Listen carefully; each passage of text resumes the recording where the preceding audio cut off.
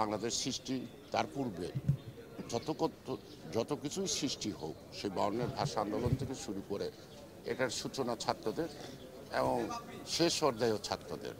তো সুতরাং আমরা আশা করছি, প্রত্যাশা করছি জাতীয়তাবাদী ছাত্রদল, ছাত্র সমাজের সেই প্রত্যাশা তারা পূরণ করবে এবং এই গণতন্ত্র পুনরুদ্ধার এবং অন্যায়ের প্রতিবাদ করার যে তাদের চেতনা, সেই চেতনা কখনোই স্তব্ধ হবে না। দুঃখজনক হলে একটা জিনিস হলো যে যেমন পানিবিহীন মাছ বাস করতে পারে না, ছাত্র কিন্তু ক্যাম্পাস বা শিক্ষাঙ্গন ব্যতীত তার ছাত্রত্বটা কিন্তু পরিপূর্ণ হয় না।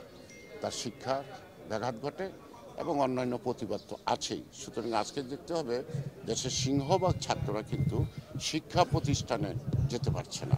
এই যে তাদের মৌলিক অধিকার শিক্ষার সেই শিক্ষা থেকে তারা বঞ্চিত। অর্থাৎ প্রত্যেকটা ছাত্র আজকে ক্যাম্পাসবিহীন।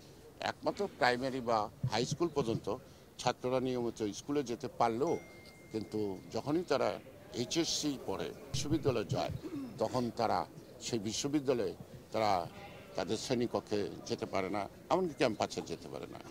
এমন একটা রাষ্ট্র ব্যবস্থা দেখার জন্য বাংলাদেশের স্বাধীনতা যুদ্ধ হয় নাই।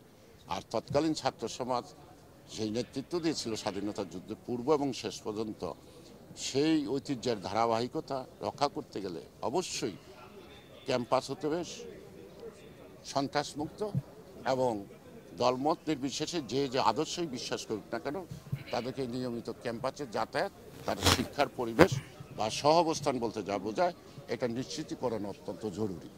আমরা আশা করব যে এই যে ফ্যাসিজম বা লুটপাটের সরকার বা মুদ্রা পাচারের সরকার বা গুম খুনের সরকার, এই সরকারের কে বিদায় দিয়ে একটি সুস্থ, একটি নিরপেক্ষ নির্বাচনের মধ্য দিয়ে বাংলাদেশে অবশ্যই জনগণের প্রতিনিধিত্বশীল সরকার গঠিত হবে।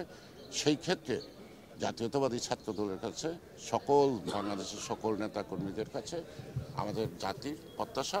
নতুন কোনো কৌশল নাই, এখন লক্ষ্য অর্জন। আমরা আশা করি তেইশ হবে বাংলাদেশের দেশপ্রেম জনগোষ্ঠীর সফলতার বছর বাংলাদেশ এই দুই হাজার তেইশ সাল হবে।